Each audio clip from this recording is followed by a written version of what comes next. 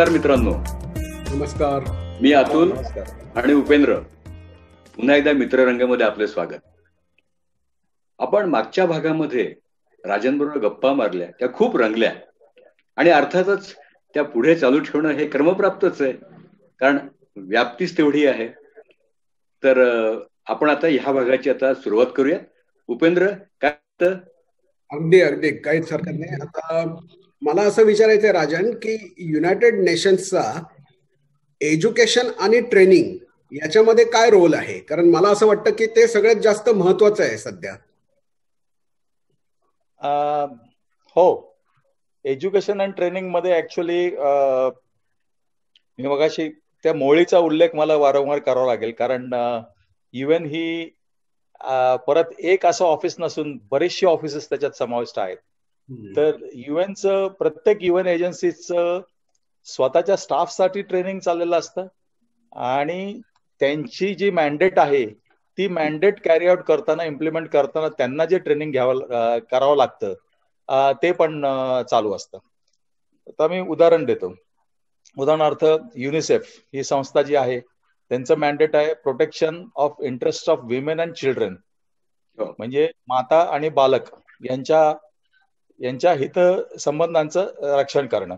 तर त्या अनुषंगाने एज्युकेशन म्हणजे शिक्षण आलं किंवा न्यूट्रिशन आलं तर त्यासाठी अर्थात ते मदतही करत असतात आणि त्याच्याशी संबंधित जे काही जे कोणी संस्था किंवा व्यक्ती आहेत त्यांचं ट्रेनिंग करत असतात. तर हा एक भाग झाला. तर प्रत्यक्ष युनायटेड नेशन्स म्हणजे अंब्रेला ऑर्गनायझेशन म्हटली तर युनायटेड नेशन्स युनिव्हर्सिटी आहे जपानमध्ये. तर त्याच्यामध्ये बरंच रिसर्च आणि हे ट्रेनिंग चाललेलं असतं कोर्सेस चाललेले असतात पब्लिकेशन ते लोक तयार करत असतात वेगळ्या वेगळ्या विषयांवरती. त्याच्यानंतर युएनचं UN system staff training college आहे जसं आपलं ऍडमिनिस्ट्रेटिव्ह सर्व्हिसेस कॉलेज आहे हैदराबादमध्ये हे सिव्हिल सर्व्हिसेसला ट्रेन करण्यासाठी. युएन ही सुद्धा म्हणजे मी सुद्धा इंटरनॅशनल सिव्हिल सर्वंटच होतो. तर त्या आमचं स्टाफ ट्रेनिंग कॉलेज हे इटलीमध्ये आहे. ट्युरिन ट्युरिनमध्ये आहे. तर ट्युरिनमध्ये बऱ्याचशा नवीन नवीन ज्या आता उदाहरणार्थ कोविड कोविड नाईन्टीन हा जर विषय घेतला तर त्याच्यासाठी कोऑर्डिनेशन म्हणा किंवा इतर संस्थांबरोबर किंवा देशांबरोबर काय काय चॅलेंजेस आहेत त्या चॅलेंजेस वरती आपल्याला मॅने मॅनेजमेंट पर्स्पेक्टिव्ह मधनं काय करता येईल अशा प्रकारचे वेगळे वेगळे कार्यक्रम चाललेले असतात. विकास कामांच्या बाबतीमध्ये नवीन जेव्हा काही लाट येते तेव्हा स्वायत्त संस्थांना बिनसरकारी संस्थांना घेऊन युएन कसं काम करेल? याबाबत युएनच्या लोकांसाठी त्या स्टाफसाठी ट्रेनिंग असतं. ते ते मध्ये चालतं.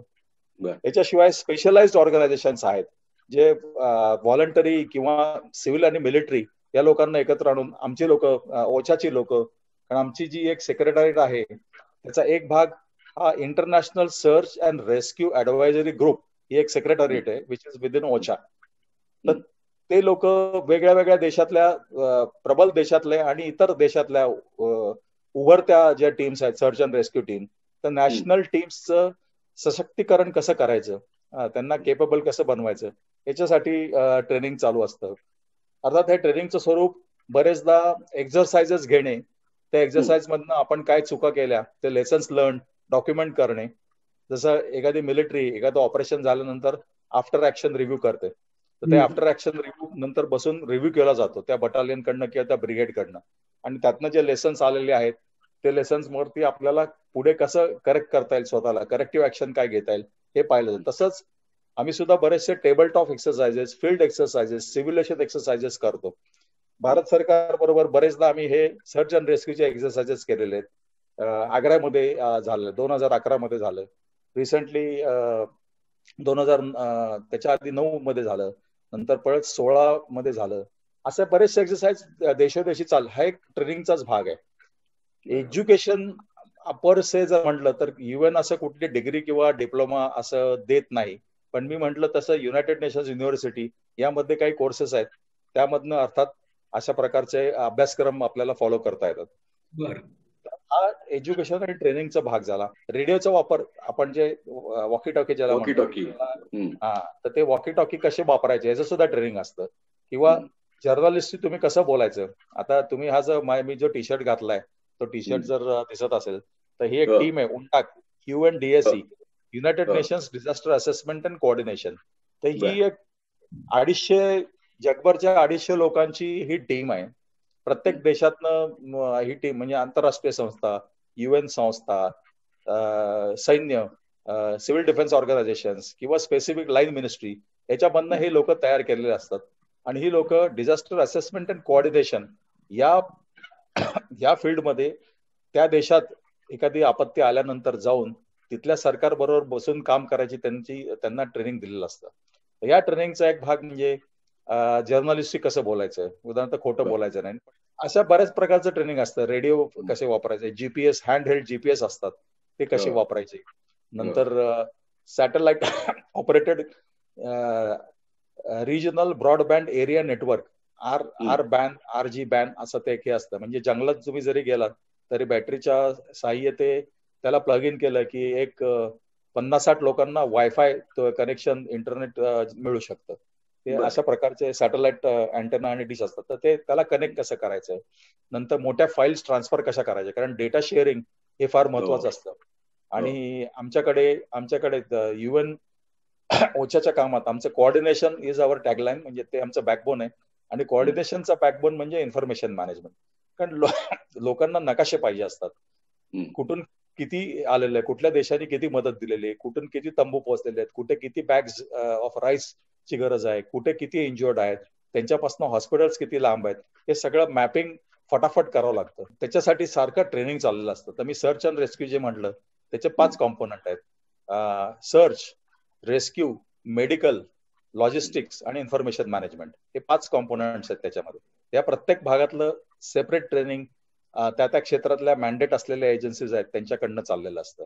आणि ते वेगळ्या वेगळ्या देशाच्या मेंबर्सला again UN is nothing but all the nations तर ह्या वेगळ्या वेगळ्या राष्ट्रांची कॅपॅसिटी बिल्डिंग करणं त्यांची कुवत वाढवणं जेणेकरून उद्या आलेल्या आपत्तीला तोंड द्यायला हा देश सक्षम असेल आणि युएनची गरज लागणार नाही. This is the final objective की युएन म्हणजे UN is not like a god तर ते काय कायम पुरं करणार नाहीत आणि याच्यातलं उत्कृष्ट उदाहरण म्हणजे युरोपियन युनियननी या उंडाक बरोबर एक करार केलेला आहे. की तुमचे फोन नंबर्स आमच्याकडे आहेत. तुमची गरज लागली तर आम्ही तुम्हाला बोलवू. थँक्यू बाय बाय त्यामुळे युरोपमध्ये कधी डिझास्टर झालं तर तुम्ही आपण जनरली मीडियामध्ये कव्हरेज पाहत नाही की इव्हेंट टीम पोहोचले आणि. त्यांच्याकडे ती केपॅबिलिटी केपेबिलिटी आहे. आणि दुसऱ्या महायुद्धापासनं दुसऱ्या महायुद्धाच्या नंतर पासनं ते त्यांनी जी केपेबिलिटी डेव्हलप करायला सुरुवात केलेली आहे ती आजच्या तारखेस ही केपेबिलिटी खूप स्ट्रॉंग झाली त्यामुळे बरंच कारण शेवटी disaster management is resource intensive त्याच्यासाठी इक्विपमेंट कॅचे मेंटेन करणं ट्रेनिंग करणं. तसं उपेंद्र तू म्हणला ते बरोबर आहे की ट्रेनिंग हा फार महत्त्वाचा भाग आहे. कंटिन्यू ट्रेनिंग करून रिव्ह्यू करणे आणि परत go back to the drawing board in order to correct yourself कारण प्रत्येक डिझास्टर एक नवीन चॅलेंज घेऊन येत असतं. एकच नाही बरेचसे चॅलेंजेस घेऊन येत असतात तर ट्रेनिंग आणि एज्युकेशन हा महत्त्वाचा भाग आहेच आमच्या कामातला. अच्छा. तर आता म्हणजे आता हेच तू आता म्हणालास की युरोपमध्ये जर कधी डिझास्टर झाले तर काही युनायटेड नेशन्सला त्यात जायची फारशी आवश्यकता भासत नाहीये. तर आता आपण म्हणजे असं म्हणूया की डिझास्टर मॅनेजमेंटच्या विषयामध्ये आपल्या देशाचं भारताचं काय स्थान आहे? आणि तू जसं म्हणलं की आता देशांनी काही प्रगती केलेली आहे. त्यामध्ये आपल्या देशांनी किती प्रगती केली? आपण वेअर वी स्टँड असं मला जरा विचारायचं तुला. फार चांगला प्रश्न आहे. ऍक्च्युली रिसेंट हिस्ट्रीमध्ये डिझास्टर मॅनेजमेंट आपल्याकडे सुरुवात जी झाली ती दोन हजार एक दोन हजार आणि चार. ह्या दोन टप्प्यांमधनं आपण पाहू शकतो त्याच्याकडे. दोन लेन्सेस लावल्या तर. दोन हजार एक मध्ये गुजरात भूकंप जेव्हा झाला तोपर्यंत भारताचं disaster मॅनेजमेंटची nodal agency ministry of agriculture and cooperation ही होती. त्याच्यामध्ये त्यांना बरेचसे चॅलेंजेस आले कारण गुजरातचा भूकंप जो होता त्याच्यामध्ये मनुष्य जीवितहानी वित्तहानी प्रचंड प्रमाणावर झाली होती. सहा हजार गावं गुजरात मधली बॉम्ब टाकून बेचिराक केल्यासारखी झाली होती. म्हणजे हा Gujarat Gujarat state disaster management authority GSDMA चा डाटा आहे. हे कोणीही त्यांच्या वेबवर जाऊन पाहू शकत. One point seven million truck debris निघाला. म्हणजे मलबा जो होता सतरा लाख सतरा लाख ट्रक एवढा मलबा निघाला. त्याच्यामध्ये चार जे मुख्य हिट टाउन होते वर्स्ट हिट भुज अंजार बचाव आणि रापर याच्यामध्ये जास्त हानी झाली होती. त्यामुळे तिथे कोऑर्डिनेशनची गरज जास्त होती. तर हे कोऑर्डिनेशन अर्थात त्यावेळेला अनुभव नसल्यामुळे आणि अशी पहिल्याच पहिलीच वेळ असल्यानंतर तशी दुसरी पहिली वेळ आली ती म्हणजे इंडियन ओशन सुनामी तोपर्यंत भारतीय आपत्ती व्यवस्थापनामध्ये सुनामी हा शब्द फारसा कोणाला माहिती नव्हता. सुनामी म्हणजे काय असतं? सुनामी हा काय प्रकार असतो आणि त्याच्यामुळे काय होतं? हे दोन हजार चारच्या इंडियन ओशन सुनामीमुळे आपल्याला अनुभवायला मिळालं. आणि तिथून सुरुवात झाली. दोन हजार पाच मध्ये भारत सरकारने डिझास्टर मॅनेजमेंट ऍक्ट हा कायदा पास केला. आणि त्या अंतर्गत नॅशनल डिझास्टर मॅनेजमेंट अथॉरिटी हे याची स्थापना झाली. त्याच्यानंतर national disaster response force N D R F याची स्थापना झाली. तर एन डी आर एफ हे काय आहे? हा मग दोन हजार एक मध्ये allow me minute to go back दोन हजार एक मध्ये हा गुजरातच्या भूकंपामधले चॅलेंजेस समोर आल्यानंतर भारत सरकारने हाय पॉवर्ड कमिटी एक निर्माण केली. आणि त्याचे चेअर होते त्यावेळेचे retired joint secretary K C Pant म्हणून. आणि त्यांच्या अध्यक्षतेखाली ही हाय पॉवर्ड कमिटीची स्थापना झाली. ही कशासाठी केली? की आपल्याला आता पॉलिसी बनवायला पाहिजे डिझास्टर्स हँडल करण्यासाठी. देशव्यापी आपल्याला धोरण आखलं पाहिजे. आणि त्याचा एक फार त्याच्या मुखपृष्ठावर आतमध्ये एक फार सुंदर हे पंत साहेबांनी दिलेलं एक काय दोन ओळी आहेत. त्या ओळी अशा की विकास ऐसा हो जो हमें आफत से बचाए। दुसरी ओळ विकास ऐसा हो जो खुद आफत ना बन जाए।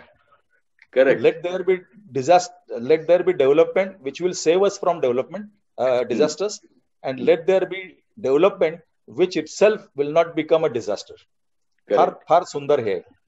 आणि बऱ्याचशा युएन संस्थांमध्ये हे कॉर्पोरेट फिलॉसॉफी त्याचं बेसिस आहे याच्या कामाचं की all neglected development issues will confront you as disasters one day विकासाचे दुर्लक्षित कामं जी आहेत ती कधी ना कधीतरी कुठल्या ना कुठल्या स्वरूपात आपत्ती म्हणून तुम्हाला फेस करावे लागतील. आणि हे खरं आहे. आणि हे आपण बघतो. आणि अर्थात भारतात आपल्याला हे दिसतच. म्हणजे आपण सुरुवात केलेली आहे सुरुवात चांगली झालेली आहे. एनडीआरएफ मी जे म्हटलं नॅशनल डिझास्टर रिस्पॉन्स फोर्स हे सिव्हिल डिफेन्स ऑर्गनायझेशन मधने आले.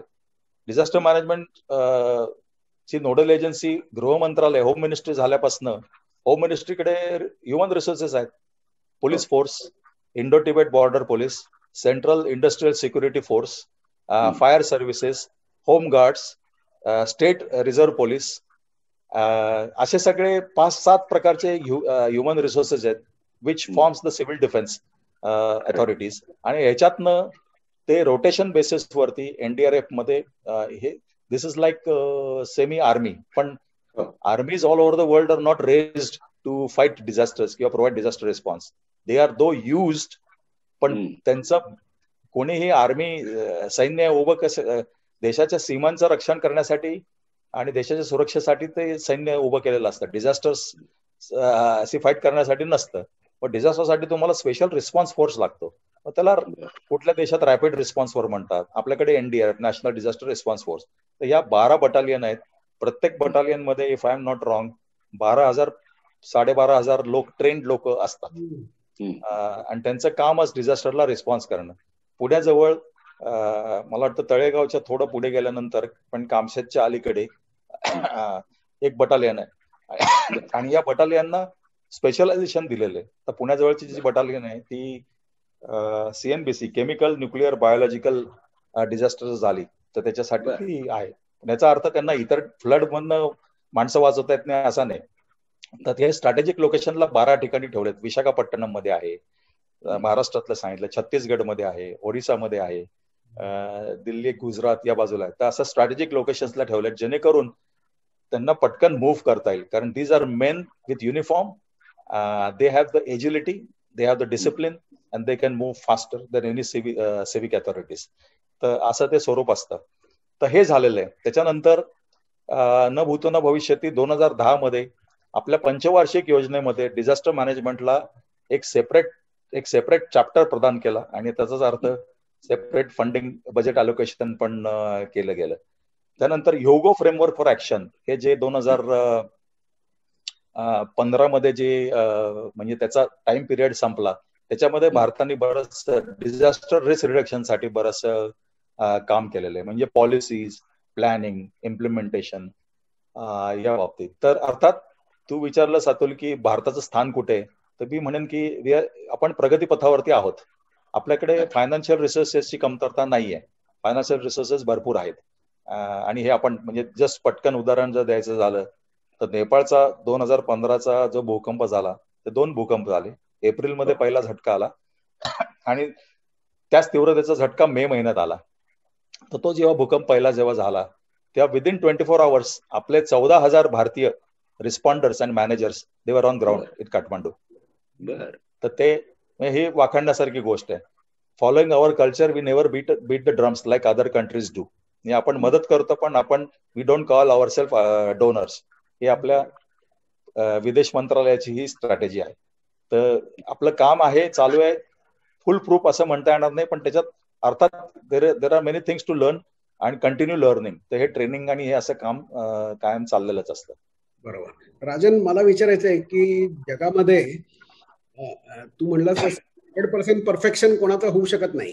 परंतु which are the countries which are well prepared or best prepared for the any pandemic तर हे जे बेस्ट प्रिपेअर्ड कंट्रीज जे आहेत त्याच्या आपचा मी काही उदाहरण सांगेन अर्थात. या कंट्रीजनी अर्थात बरेचसे कंट्रीज युरोपमधनं आहेत. त्याचं कारण आहे. दुसऱ्या मगाशी मी जे म्हटलं सिव्हिल डिफेन्स अथॉरिटीजना त्यांचं सशक्तीकरण करायची सुरुवात दुसऱ्या महायुद्धानंतर झाली. बॉम्ब पडल्यामुळे बिल्डिंग खाली जे अडकलेले लोक आहेत किंवा इंज्युअर्ड लोक आहेत त्यांना बाहेर काढणं ते सिव्हिल डिफेन्स अथॉरिटीची जबाबदारी होती. तर या या सगळ्या कामासाठी त्यांनी नंतर डिझास्टर मॅनेजमेंटकडे लक्ष देऊन आपली जी कॅपॅसिटी आहे ती स्ट्रॉंग केलेली आहे. त्यामुळे सर्च अँड रेस्क्यू टीम्स हा सगळ्याच युरोप मधल्या कंट्रीज मधला भाग म्हणता येईल. मग आता त्यामुळे त्यांनी कायदे लवकर केले. इन्स्टिट्युशनलायझेशन लवकर केलं. कामाची विभागणी लवकर केली. ट्रेनिंग त्यांचं खूप आधीपासून सुरू आहे. म्हणजे कित्येक दशक त्यांचं ट्रेनिंग सुरू आहे. उदाहरणार्थ जर्मनी. नंतर ऑस्ट्रेलिया युएस युके तर हे इवन सिंगापूर छोटं राष्ट्र जरी असलं त्यांनी तरी त्यांच्याकडे सगळ्या गोष्टी घडवून आणायची जी त्यांचे इम्प्लिमेंटेशन कॅपॅसिटी जी आहे त्यामुळे हे सगळे जे देश आहेत आणि काही देश हे अनुभवातनं शिकलेले आहेत. उदाहरणार्थ फिलिपिन्स. फिलिपिन्समध्ये एका वर्षामध्ये रिंग ऑफ फायर मधला कंट्री आहे पॅसिफिकमध्ये एका वर्षामध्ये ऑन ॲव्हरेज एकवीस ते बावीस सायक्लॉन्स येतात. त्याला ते लोक टायफून म्हणतात. पॅसिफिकमध्ये टायफून म्हणतात. बावीस मधले चार जे असतात ते विनाशकारी असतात. आणि ते असतातच. दिस इज अ रेकॉर्ड म्हणजे त्याच्यामध्ये अतिवृष्टी होते भूस्खलन होतं. या सगळ्या गोष्टी त्याच्या म्हणजे चार टायफून वर्षभरातले असे असतात. तर त्यामुळे त्या लोकांनी कॅपॅसिटी डेव्हलप केली की काही तासांच्या अवधीमध्ये लाखो लोकांना इव्हॅक्युएट करायचं म्हणजे जर सायक्लॉनचा पाथ माहिती असेल तर या या प्रॉव्हिन्सेस मध्ये जर सायक्लॉन लँडफॉल करणार आहे तर इथे जास्त पाऊस पडणार आहे. त्यामुळे इथे हानी होईल इथे पूर येईल.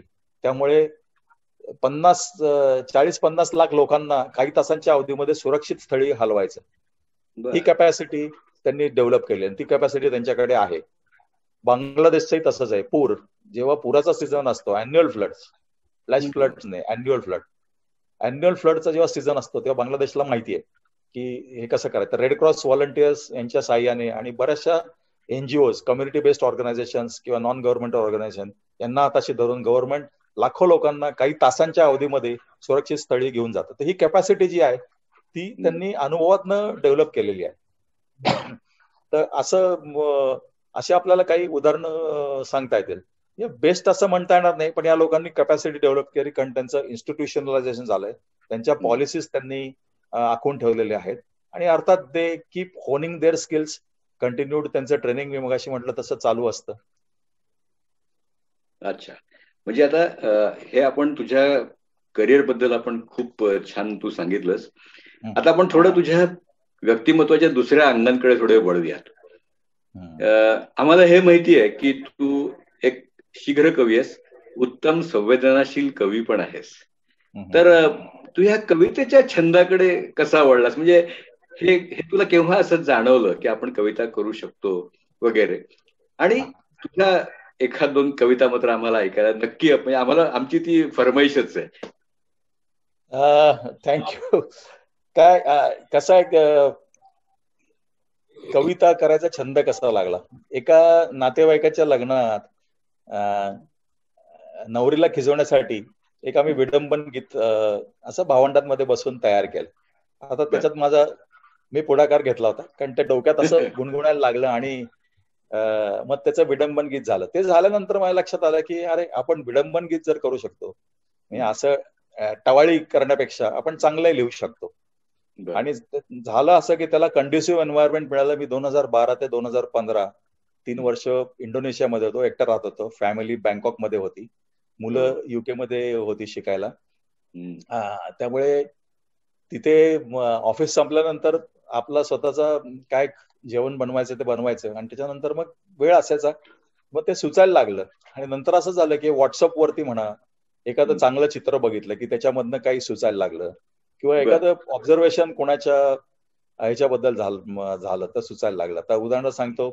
दोन हजार चौदा मध्ये मी सिआर लेवनमध्ये होतो इबोला इबोला इमर्जन्सीसाठी. आणि नेमकं त्या पिरियडमध्ये बायकोचा वाढदिवस होता. मी वेस्ट आफ्रिकेमध्ये ती थायलंड बँकॉकमध्ये एवढ्या लांब आता फोन करू नये म्हणलं आता उत्कृष्ट भेट काय द्यावी? तर कविता. मग कविता ती ती ती कविता मी ऐकू शकतो. ती कविता जरूर जरूर. ती कविता अशी झाली. मग असं ते कविता लिहायचं हे झालं. आणि आता अर्थात बायकोची आता तू जशी फरमाईश केली आता तशी बायको म्हणतो तुम्ही बरेच दिवस झाले कविता लिहिली नाही. कविता लिहा. म्हणलं असं आता मला फोडणीचा भात करून द्या असं म्हटल्यासारखं ते कविता लिहायला बसा म्हणून ते सुचत नाही.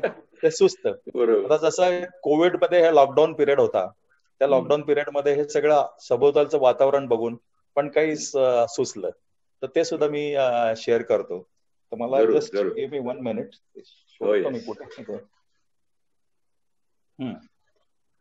तर ते बायकोसाठी केलेली कविता. कसा मी विसरू? वाढदिवस आहे तुझा आज. गुंफतो शब्द मला तुझ्यासाठी. आवडेल ना हा साज? नव नवविवाहिता छब्बी आठवते तुझी. जणू नव कविता. दिवसन वर्ष भुरकन उडाली. कशी बघता बघता? लाभता साथ तुझी गवसला मला किनारा. लिलया सांभाळलास तू स्नेहांकित आपला निवारा. मी कायम माझ्या कामामुळे महिन्यातनं वीस दिवस मी बाहेरच असायचो. त्यामुळे तो सगळं निवारा सांभाळायचं काम आमच्या वहिनींनीच केलेलं आहे. मनानं मी जवळच तुझ्या अंतरानं जरी दूर जाण ही होता क्षणी थांबेना बघ हुरहुर. उगवतो सूर्य क्षितिजावर आस्तही पावतो तिथे. स्काईप कॉलसाठी तुझ्या आधीर असतो मी इथे. आठवणींच्या आपण जागवल्या किती रात्री? प्रवासात उरलोय खरं दोघच आता यात्री. ही अशी एक कविता. त्यानंतर कोरोनावरती मी मगाशी म्हटलं तसं म्हणजे हे सगळं अर्थात आजूबाजूला काय चाललंय आणि आपण कुठल्या एन्व्हायरमेंटमध्ये आहोत हे बघून अर्थात हे म्हणजे सुचलेलं. कारण मी जाणून बुजून ते काही लिहिलं नाही. करोनाचा काही दिसेना अंत जगायचं कसं? सर्वान खंत. घराबाहेर आता भीतीचे सावट कोणाची लागण कोणाच्या अंगलट. साधे आजारही ठरती पाप सोखायला उरला लशीचा लॉलीपॉप चिमुरडांचे सुरू ऑनलाईन शिक्षण बालपण तेवढे पडले भक्षण. वस्तूंच्या भले भडको किमती होम डिलिव्हरी ग्राहकांच्या दिमती. ऑनलाईन रेसिपीचे मानगुटीवर भूत घरोघरी नवीन पाककृतींना ऊत. आठ तास ऑफिसात बरं होतं काम. वर्क फ्रॉम होम न केलंय आता जाम. खरं गाडी रुळावर यायला लागणारच वेळ. तो वर गोड लागेल का केळ? आपण लसीची वाट पाहतोय सगळेजण. आता ती कधी येईल त्याच्या ऍडमिनिस्ट्रेशनमध्ये काय काय चॅलेंजेस येणार आहेत आता these are these will be unfolding in front of us बस एवढंच आपण म्हणू शकतो बाकी काही नाही. तर असा कवितेचा छंद झाला. अजून अजून एक प्रश्न विचारायचा आहे तुला. तू पण असाच तुझा एका वेगळ्या याच्याशी संबंधित आहे. राधाकृष्ण घराशी घराण्याशी. तुझ्या आणि भानुविलास भानुविलास थिएटर ऐकायला आवडेल. पुण्यातलं ते अतिशय एक प्रसिद्ध असं गावातलं थिएटर होतं. तर त्याच्याबद्दल ऐकायला आवडेल. हा बरोबर आहे. हे लेट फॉर्टीजमध्ये माझ्या आजोबांनी वडिलांचे वडील माझ्या आजोबांनी ललित कला कुंज नावाची नाटक कंपनी सुरू केली होती. आणि ती नावारूपाला आल्यानंतर तिला स्टेज मिळावं म्हणून मग त्यांचा आधी हळदीचा व्यापार होता. अर्थात मी पाहिलेला नाही कारण ते बावनमध्ये वारले माझा जन्म सत्तावन्नचा. तर त्यांचा हळदीचा व्यापार होता. आधी ते लेटर पेंटर होते मग हळदीचा व्यापार. आणि त्याच्यातनं मग ते ललित कला कुंज नाटक कंपनी ते सुरू झाली. आणि मग त्याला स्टेज मिळावं म्हणून मग त्यावेळेला रामभाऊ अभ्यंकर ज्यांनी पुण्यामध्ये पहिल्यांदा बस सेवा पीएम आपले कॉर्पोरेशनची बस सेवा सुरू केली. त्याच्यामध्ये त्यांचा सहभाग होता. त्यांच्याकडे नव्याण्णव वर्षाच्या कराराने लीजवरती जमीन होती. त्यांना भागीदार करून घेऊन आमचे आजोबांनी पैसे घालून ते थिएटर बांधलं. ते नाटकाचं थिएटर होतं. त्याच्यानंतर बावनमध्ये आजोबा वारल्यानंतर माझे वडील पार्टनरशिपमध्ये आले. गेंगजी आणि अभ्यंकर असं पार्टनरशिप होती. पंचावन्नमध्ये या मग या नाट्य थिएटरचं रूपांतर सिनेमा हाऊसमध्ये करायचं होतं. सिनेमाचं थिएटर त्यामुळे भांडवल पाहिजे होतं. पंचावन्नमध्ये रास्ते रास्ते मंगल कार्यालयाचे रास्ते. त्यांना भागीदार करून घेतलं आणि तेव्हापासून सिनेमाचं थिएटर सुरू झालं. अर्थात या थिएटरमध्ये मी शाळेमध्ये असताना जे कोणी जवळचे मित्र होते बाकावरती बसणारे यांना असं घेऊन एक दोन तास दांडी मारून आम्ही सिनेमा बघायला जायचो. तर वडील मग सिनेमा सुरू झाल्यानंतर मला हळूच आतमध्ये एक पाच साल चार पाच लोकांना जास्त नाही कारण फार फौज नेता येत नव्हती. तर अशा त्या गमती जमती आहेत.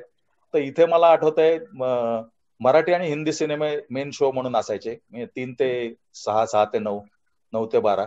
पण मॅटिनीला इंग्रजी सिनेमा असायचे. आणि त्याच्यामध्ये हॉरर फिल्म सुद्धा असायच्या Dracula the prince of darkness Dracula अमुक तमुक आणि असे सगळे सिनेमा असायचे.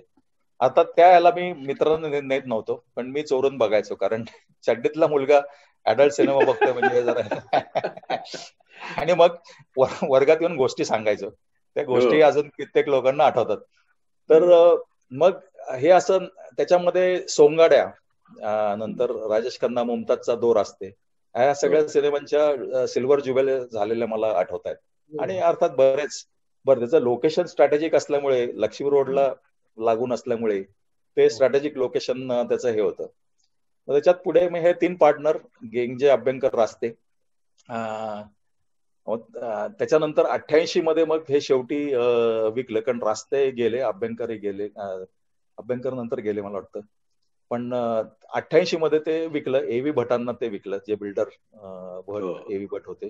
त्यांच्याकडे ती प्रॉपर्टी गेली आणि मग आमच्या फॅमिलीचा संबंध संपला. म्हणजे जवळजवळ एक चाळीस एक वर्ष यांनी रसिकांना नाटक आणि सिनेमा यांचा आनंद दिला वास्तूनी. पण आता वाईट हे वाटतं की ती वास्तू आजही तशीच उभी आहे.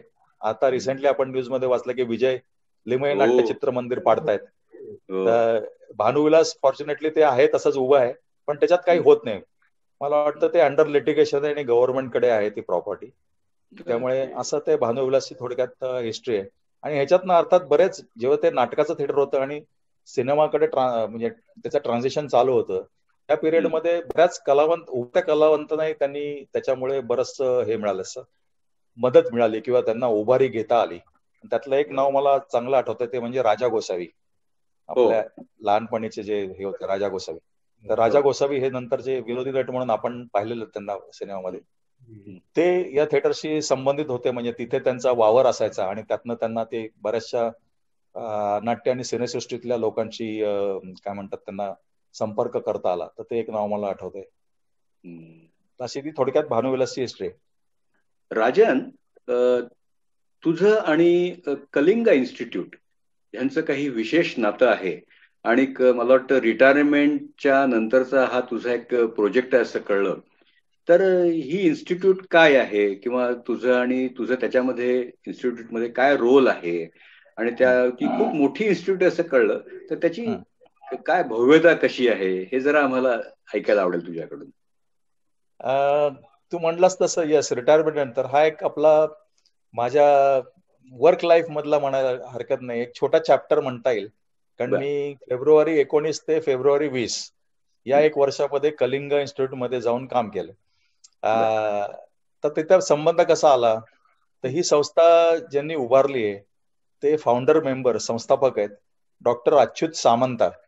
यांची आणि माझी ओळख जुनी आहे. एकोणीसशे पंच्याण्णव शहाण्णवपासून आम्ही ओळखतो एकमेकांना. अर्थात ही संस्था नावारूपास आली ती साधारण दोन हजार तीन दोन हजार पाच या दरम्यान.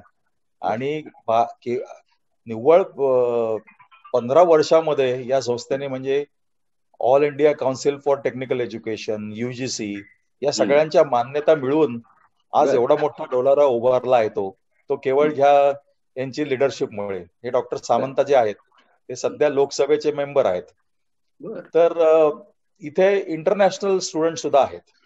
या Kalinga institute of industrial technology हा एक भाग. किट म्हणतात त्याला Kalinga institute of industrial technology आणि दुसरी संलग्न संस्था म्हणजे Kalinga institute of social sciences KISS हे सोशल सायन्सेस जे आहे हे आदिवासी लोकांचं विद्यार्थ्यांचं विद्यापीठ आहे. त्याच्यामध्ये एकोणतीस हजार आदिवासी विद्यार्थी त्यांना फुकट के जी पासन पीजी पर्यंत फुकट राहणं जेवण त्यांचं आणि शिक्षण याच्यासाठी सगळं तिथे व्यवस्था आहे. ते प्रचंड मोठा तो व्याप आहे. म्हणजे हे आदिवासी विद्यार्थी त्रेसष्ट जमातीमधनं येतात. आणि या त्रेसष्ट जमाती ओडिसा आणि लागून असलेलं राज्य जे आहे छत्तीसगड. या छत्तीसगड मधनं आणतात. त्यांना they catch them when they are young म्हणजे पाच किंवा सहा वर्षाचा मुलगा असेल तर आई वडिलांकडनं त्याला घेऊन यायचं. मग त्याचा हेल्थ चेकअप करायचा. अर्थात ते लोक दात घासत नाहीत तर त्यांना दात घासायला ब्रश टूथपेस्ट वापरायला शिकवी. इथपासनं सगळं ट्रेनिंग असतं. मागच्याच वर्षी पहिली चार आदिवासी विद्यार्थ्यांची पीएचडी पीएचडी होऊन चार आदिवासी विद्यार्थी बाहेर पडले. हे खरंच कौतुक खरंय. आणि लगेच एक प्रश्न उपस्थित होता की याला फंडिंग कुठं येतं? तर Kalinga institute of industrial technology हे सुद्धा डीम्ड युनिव्हर्सिटी आहे. त्या डीम्ड युनिव्हर्सिटीमध्ये जे फी पेईंग स्टुडंट येतात किंवा ते जे लोक प्रोजेक्ट संशोधन प्रकल्प आणि हे प्रोजेक्ट चालवतात हे त्यांच्या जवळजवळ बऱ्याच संस्थांबरोबर करार मदार आहेत. त्याच्यामधनं जे काही अर्थार्जन रेव्हेन्यू जनरेट होतो. या सगळ्या रेव्हेन्यूचा फोर पर्सेंट रेव्हेन्यू हा किसला जातो ऑपरेशनसाठी याशिवाय कलिंग इन्स्टिट्यूट ऑफ इंडस्ट्रियल टेक्नॉलॉजीचे सगळे एम्प्लॉय एम्प्लॉईज आपल्या इन्कमच्या फोर पर्सेंट कॉन्ट्रीब्युट करतात केसला क्या बात आहे. हा. असं दोन हजारच्या वर एम्प्लॉईज आहेत. प्रत्येकाच्या सॅलरी लेवल प्रमाणे फोर पर्सेंट त्या ह्याला जातात तर हा एक भाग झाला.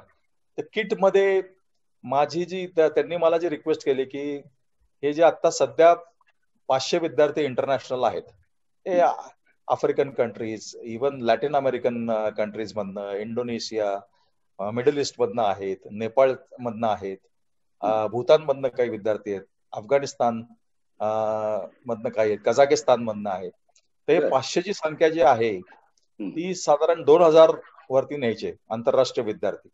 तर त्याच्यासाठी जे लागणाऱ्या पॉलिसीज आहेत किंवा स्ट्रॅटेजी आपल्याला करावी लागेल त्याच्यासाठी लागणारं ट्रेनिंग जे स्टाफला द्यावं लागेल तर त्याच्यासाठी तू मदत कर. ते म्हणलं मग फक्त महिन्यातनं पंधरा दिवस तू मला दे. तर पंधरा दिवस मी हे वर्षभर जात होतो. तिथे माझं सगळं मला त्यांनी director of international relations office अशी पोझिशन दिली होती. आणि मग मी ते वर्षभर ते हे काम केलं सगळं. तर याच्यात गमतीचा भाग म्हणजे आणि या भागावरती किसचं मोठं आता एकोणतीस हजार विद्यार्थ्यांना सकाळी ब्रेकफास्ट लंच डिनर खाऊ घालायचं म्हणजे रोज. त्यासाठी मोठं किचन पाहिजे. तर ते किचन हा एक फार गमतीचा भाग आहे. आणि याच्यावरती नॅशनल जिओग्राफिकनी एक मेगा किचन म्हणून हे बनवलेले व्हिडिओ क्लिप बनवलेले तिथे रोज साधारण पंधरा हजार एक सॉरी एक हजार पाचशे किलोचा भात होत शिजतो. गॉड आणि त्याला लागणारी कारण तिथलं मुख्य भात आणि ती त्यांची जी काही करी असेल डाळ दाल भात त्या डाळ मध्येच भरपूर भाज्या घातलेल्या असतात.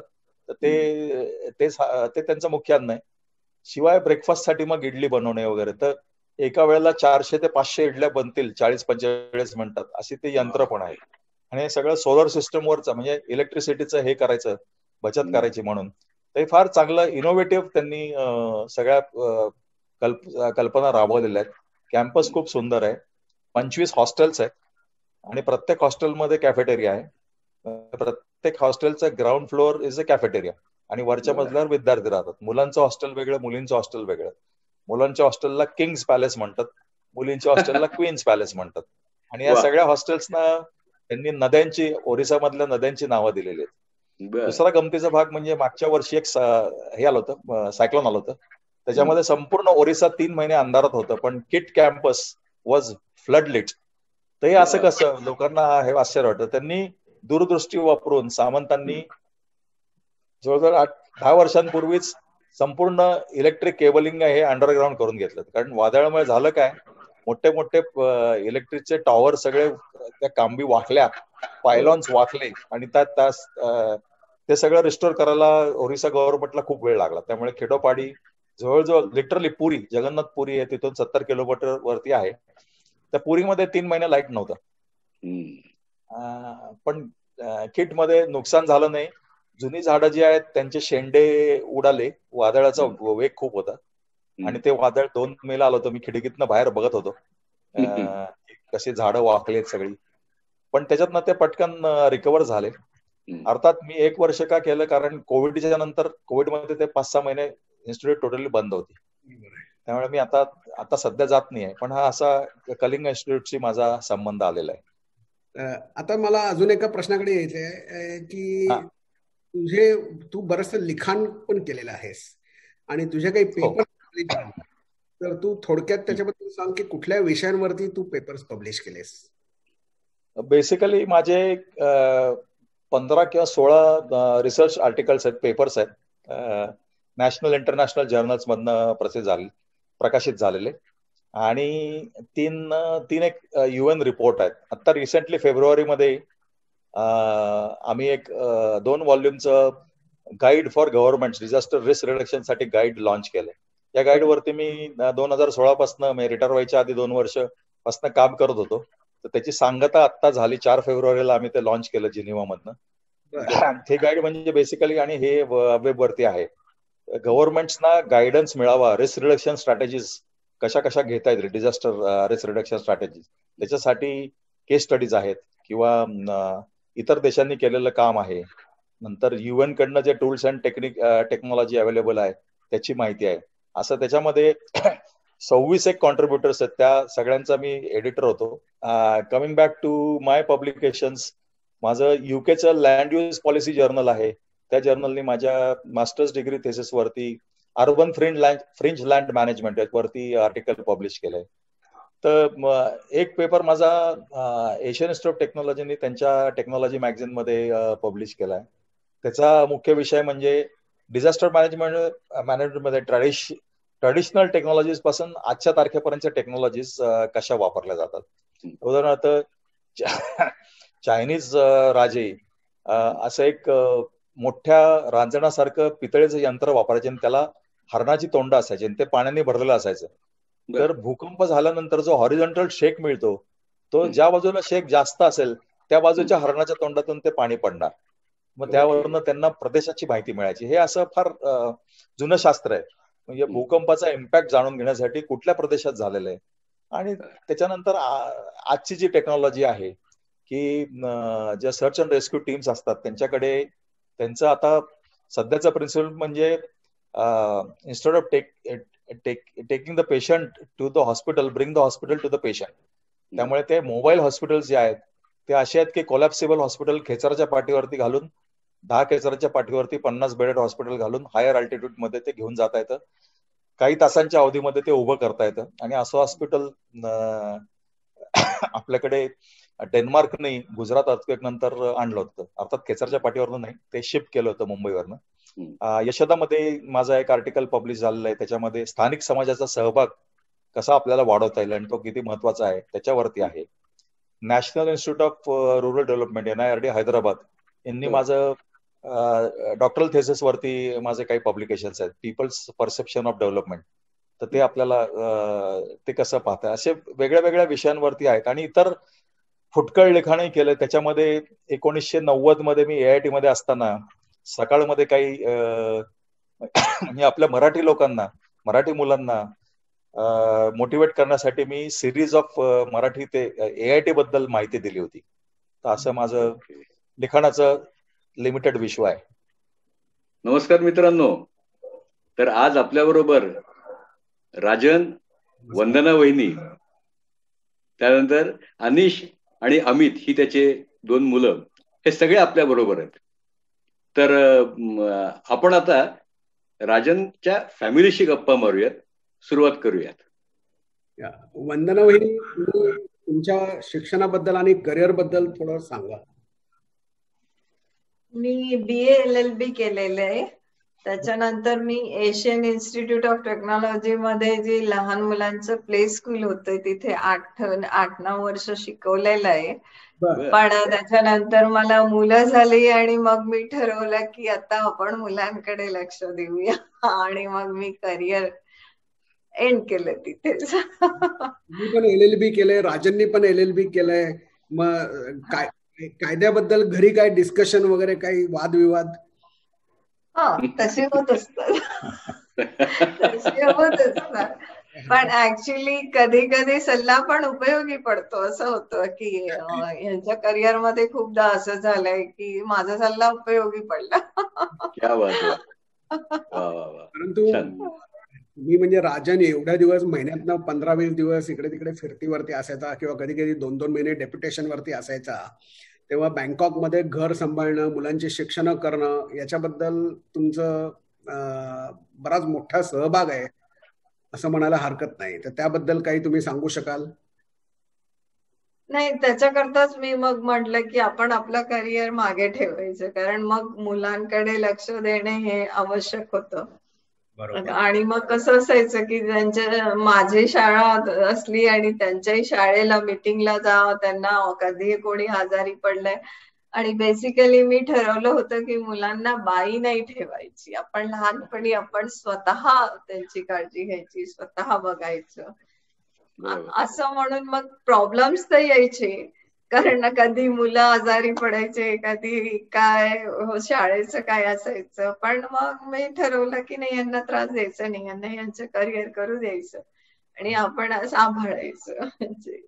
सॅक्रिफाईस आहे. योगदान आहे राजनच्या काय राजन तुला काय म्हणायचंय?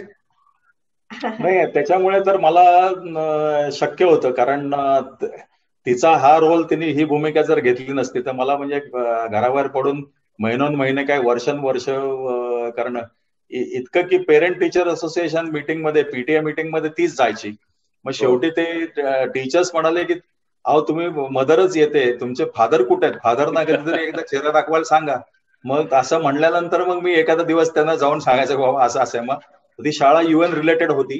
New International School of Thailand आणि आम्ही शाळेच्या समोरच अपार्टमेंट भाड्याने घेतलं होतं. तिथेच त्यामुळे ते जवळ होतं चांगलं होतं. पण मी फिरतीर असल्यामुळे मला पीटीए मीटिंग असल्यानंतर जाता येईलच असं नाही. म्हणजे असं आणि नंतर शेवटी आईचं पण माझ्या म्हणजे सांगण्यासारखी गोष्ट म्हणजे तिचं कॉन्ट्रीब्युशन दोन हजार बारा मध्ये मी आईला पुण्यावरनं घेऊन गेलो. ते दोन हजार अठरा पर्यंत आई माझ्या बरोबर होती. त्यात दोन वर्षानंतर ती दोन हजार चौदा पासन जी बेड रिटर्न झाली ती ती बेड रिटर्नच होती. आमच्याकडे living in twenty four hours maid असल्यामुळे ती मेड आणि वंदना हे दोघे मिळून आईचं सगळं करायचे. ते फार अवघड काम होतं. कारण बेडवरती सगळं तिचं व्हायचं. खाणं पिणं वगैरे सगळं क्लिनिंग त्यामुळे ते अवघड होतं. तिला आजार असा काही नव्हता. मग मी रिटायर व्हायच्या आधी तिला पुण्यामध्ये आणलं. आणि मग ती पुण्यामध्येच असतानाच ती गेली. पण ते घर सांभाळणं मुलांचं सगळं शिक्षणाकडे लक्ष देणं वगैरे हे सगळं काम वंदनाने केल्यामुळे मला माझं बाहेरचं काम आणि करिअरकडे लक्ष देता आलं. तर हे कॉन्ट्रीब्युशन आहे अर्थात आणि हा अर्थात सॅक्रिफाईस आहे. खरंय. आणि आपण जे म्हणतो ना की एखाद्या यशस्वी पुरुषामागे एक स्त्री असते तर मला वाटतं हे. एक चांगलं उदाहरण आहे. छान छान. यशस् अतुल यशस्वी आहे का नाही मला माहिती नाही. म्हणजे मला जे मी आधी जे म्हणलं होतं वाट फुटेल तसं मी सगळीकडे करिअर केलं. पण याचं कॉन्ट्रीब्युशन असल्यामुळेच ते सगळं शक्य होत. अगदी खरंय. आता आपण राजन तुझी मुलं अनिश आणि अमित यांच्याकडे येऊयात. अनिश अमित तुमचं ह्या आमच्या मित्ररंगामध्ये स्वागत आहे. अनिश तू काय करतोस मला सांग जरा. तुझं काय म्हणजे एज्युकेशन बॅकग्राऊंड आणि आताच काम हो बिलकुल बिलकुल. मी माझं अंडरग्रॅड आणि मास्टर्स दोन्ही इंग्लंड मधून केले बॅचलरसाठी मी युनिव्हर्सिटी ऑफ नॉटिंगममध्ये होतो. तर तिथे मी जॉग्रफी आणि मॅनेजमेंट असा एक जॉईंट प्रोग्राम होता ते केला.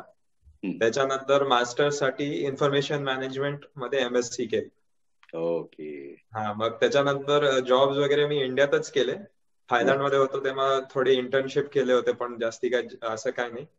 मग आता सध्या मी दुबईची एक कंपनी आहे त्याच्यात इन्शुरन्स आणि एच आर अशी सॉफ्टवेअरची कंपनी एच आर सॉफ्टवेअर आणि इन्शुरन्स तर त्याच्यात मी आय टी ऑपरेशन्सच्या टीममध्ये ओके. वर्क फ्रॉम होमच आहे सध्या कारण कोरोना वगैरे चालू आहे. ओके. तर हा ही हा रोल मी मार्च मध्ये जॉईन केला होता आणि याच्या आधी मी पुण्यातच इथे होतो क्रेडिट स्विसमध्ये. ओके. ग्रेट मस्त. छान. आणि अमित तुझं काय? तू मला सांगशील काय?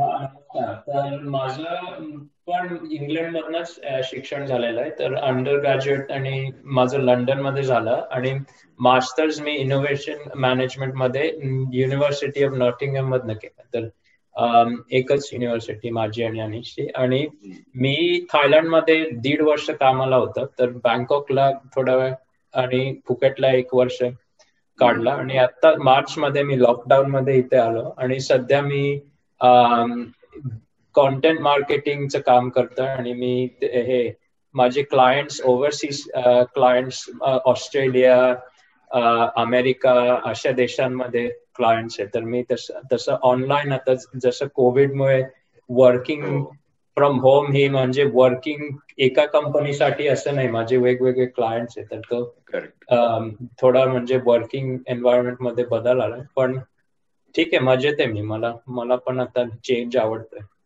ओके ग्रेट छान छान. तुमच्या दोघांची ही प्रगती ऐकून खूप छान वाटलं. राजन मला तुझ्याकडे परत यायचं आहे की आपण कविता ऐकल्या आपण बाकीचे ज्या तुझ्या छंद आहेत त्याच्याबद्दल ऐकलं तसं तू सुंदर गातोस पण. तर पण या कार्यक्रमाचा समारोप तुझ्या गाण्याने दोन चार ओळी तू ऐकवल्यास तर फार छान होईल.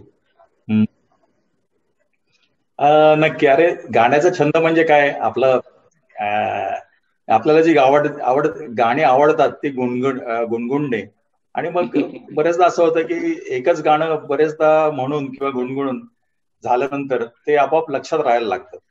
तर मी माझ्या डोक्यात आता असं येते की आपण एकच गाणं म्हणण्यापेक्षा आपण मी काय संगीतकार आहे किंवा संगीतातलं काहीही ज्ञान नाही मला फक्त गायला आवडतं आणि शक्यतोवर सुरात जमवायचा प्रयत्न करतो एवढंच. आता बाहेर असताना काय व्हायचं की इंडोनेशिया आणि फार गंमत आहे त्याच्यामध्ये. इंडोनेशियाचे प्रेसिडेंट किंवा मिलिटरीतले अधिकारी या सगळ्यांना कुछ कुछ होता है हे. गाणं फार आवडतं. फंक्शनमध्ये परफेक्ट लिरिक्स इंडोनेशियन प्रेसिडेंट स्वतः तुम पास आए यू मुस्कुराए तुमने न जाने क्या सपने दिखाए। अब तो मेरा दिल जागे न सोता है क्या करू हाय? कुछ कुछ होता है। हे रेग्युलर म्युझिक लावून त्याच्या पुढे लिरिक्स असे व्यवस्थित हिंदीमध्ये म्हणायला त्यांना. मग त्याच्या पुढे इंडियन म्हटल्यानंतर बॉलिवूड मधलं गाणं आपण मागे कुठे पडता कामा नये एवढ्या मोठ्या कार्यक्रमामध्ये. मग अशी फरमाईश व्हायची चला तुम्ही पण गाणं म्हणा. तर अर्थात मला हिंदी आणि मराठी एवढ्या दोनच भाषांमधली गाणी आवडतात. इंग्रजी गाणं मी ऐकत नाही कारण मला त्याची कधी आवड निर्माण झाली नाही. मराठीमध्ये अर्थात जुनी गाणी. मग त्याच्यात परत सिलेक्टेड गीतकार आणि कवी जे आहेत शांता शेळके गदिमा यांची गाणी किंवा लावण्या. लावण्या हा एक दुसरा माझा आवडता प्रकार. आता ते मेडले जर करायचं झालं तर ते असं असू शकेल. मळ्याच्या मळ्यामंदी पाटाचं पाणी जात गुलाब जाई जुई मोगरा फुलवित माळ्याच्या मळ्यामंदी पाटाचं पाणी जात. दादाच्या मळ्यामंदी मोठच मोठ पाणी. पाजी ते रान सार मायेची वयनी हसत डुलत. मोत्याचं पीक येत. गुलाब जाई जुई मोगरा फुलवित माळ्याच्या मळ्यामंदी पाटाचं पाणी जात. लाडकी लेख राजाचं लोक लगीन माझ्या चिमणीच. भल सकळ भळ झुकते हे खाली. सोन चमचा मते दर्याला चढतय लाली. तवा पाण्यामंदी रापण टाकतो हाली. दर्याच लुटून नेतो खाली. रात पुनवेच चांदन प्याली. कशी चांदीची मासोली झाली. रात पुनवेच चांदन प्याली. कशी चांदीची मासोली झाली. माझ्या जाल्यात होऊन आली. नेतो बाजारा भरून मौरा ताजा नेतो बाजारा भरून म्हवरा ताजा. दॅट्स इट वाह क्या बात आहे मजा आ गया. वा वा वा वा फार छान फार मस्त मजेत. आता बर का राजन तुला सांगण्याची गंमत अशी आहे की आपण ह्या एवढ्या गप्पा मारल्यात. आता आपण प्रत्यक्षाला भेटणं हे अगदी खरंच आवश्यक आहे. आपण आता तो प्रोग्राम नक्की भेटू नक्की भेटू. तर आता आपले सगळे नुमवीचे मित्र आहेत. त्या नुमवीच्या मित्रांतर्फे आमच्या मित्ररंग चॅनल तर्फे तुझं वंदना वहिनी अनिश आणि अमित ह्या सगळ्यांचे खूप खूप आभार की तुम्ही आमच्या बरोबर आज आलात आणि इतका वेळ तुम्ही आम्हाला दिलात इतक्या छान गप्पा मारल्यात. त्याबद्दल तुमचे आम्ही मनापासून आभार मानतो. आणि मित्रांनो तुम्हाला हे तर आता परत सांगायची गरज आहे असं वाटत नाही पण तरी सांगतो. की आपल्या ह्या चॅनलला तुम्ही लाईक करा आणि सबस्क्राईब करा. तर तुम्हाला ह्या गप्पा म्हणजे आज आता आपण राजेंद्र गप्पा मारल्याच आहेत. पुढे असे आणखीन मित्र की ज्यांच्याशी आपण गप्पा मारणार आहोत. तर त्यासाठी तुम्ही लाईक आणि सबस्क्राईब मात्र जरूर करा. आपण पुन्हा भेटूयात. धन्यवाद. धन्यवाद. थँक्यू अतुल आणि उपेंद्र तुम्ही दोघंही जे काम करताय ते खरंच म्हणजे मित्र वर्गांमधनं हुडकून त्यांच्यावरती रिसर्च करून आणि आलेल्या सगळ्या टेक्निकल गोष्टींवरती मात करून तुम्ही हे सगळं लोकांपर्यंत पोहोचवायचं काम करताय. खरंच कौतुकास्पद आहे. आणि या मित्ररंग सुरू केल्याबद्दल आणि त्याला पुढे पुढे अजून नेण्याबद्दल तुमचा जो वाटा आहे अर्थात सिंहाचा वाटा तर आहेच पण तुम्ही दोघं जे जे कॉन्ट्रीब्युट करताय स्वतःचा वेळ तो खरंच अप्रिशिएट करण्यासारखा आहे. थँक्यू आणि भेटूया नक्की आपण. नक्की भेटूया सगळे. जरूर. अच्छा. नाईट